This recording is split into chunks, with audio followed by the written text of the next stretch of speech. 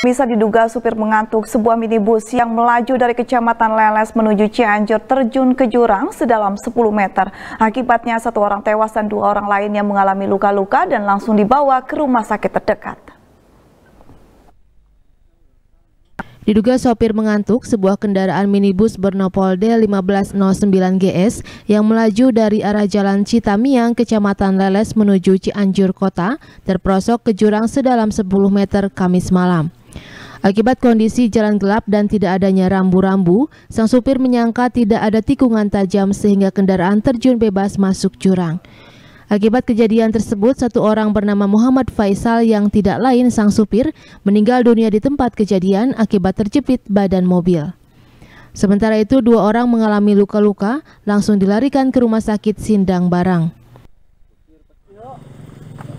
Bang, ini uh, ada kejadian apa bang?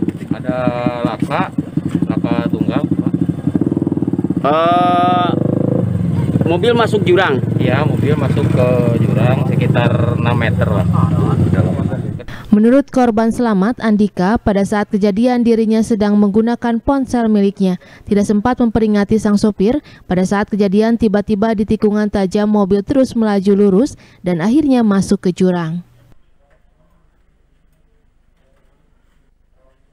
Dek, bisa diceritakan kronologis kejadian mobil masuk jurang itu gimana, Dek? Jadi gini Pak, uh, saya tuh kan lagi main HP, nah cewek saya tuh lagi di belakang, lagi tidur. Nah, di depan tuh ada tikungan, saya nggak tahu ada tikungan.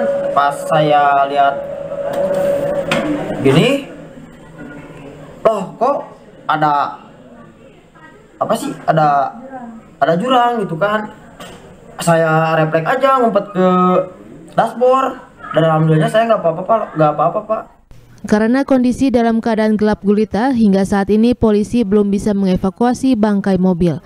Rencananya mobil akan dievakuasi pada Jumat siang dengan menggunakan mobil derek. Heri Setiawan, Bandung TV